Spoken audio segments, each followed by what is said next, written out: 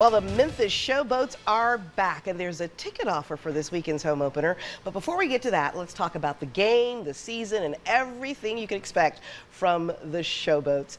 Steve Macy with UFL joins me now to talk about uh, it all. Welcome, first of all. Thank you very much. Excited to be back. Good to have you back. First of all, uh, can you explain what your job is with the league?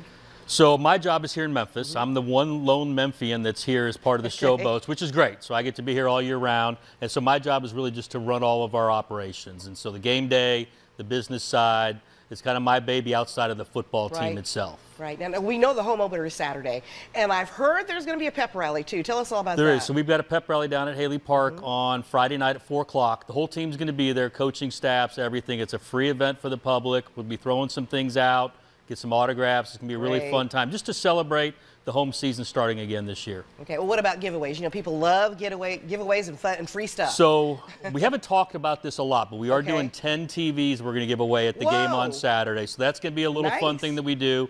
Uh, the game itself is going to be at 11 o'clock at Simmons Bank Liberty Stadium. It's against San Antonio, and San Antonio is really good. They're Yeah. coached by Wade Phillips, who a lot of people know. right? Both teams are undefeated, and it's you know our head coach John DeFilippo was really excited.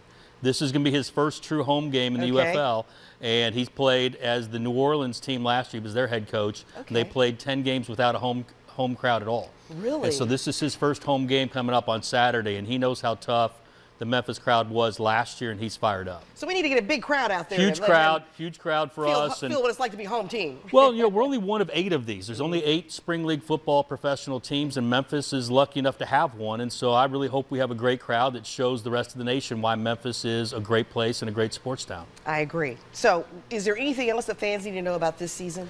I think really it's just about it's a short season. It's 10 mm-hmm. straight weeks. We have five home games. Last year we had the best home crowd atmosphere in terms of fun, people enjoying it. It's family friendly. We've got a great ticket offer for this game. It's fivo.me backslash boats 10 and anybody can get in for 10 bucks. And we really encourage everybody to come out, get there early, and have fun with us. All right, again, Steve Macy with the UFL Showboats. Thanks so much for coming in today. Of course, thank you. Go. Boats. Go Boats. All right, thank you. Time now for a check of the first alert forecast with meteorologist Spencer Denton. Hi, Spencer.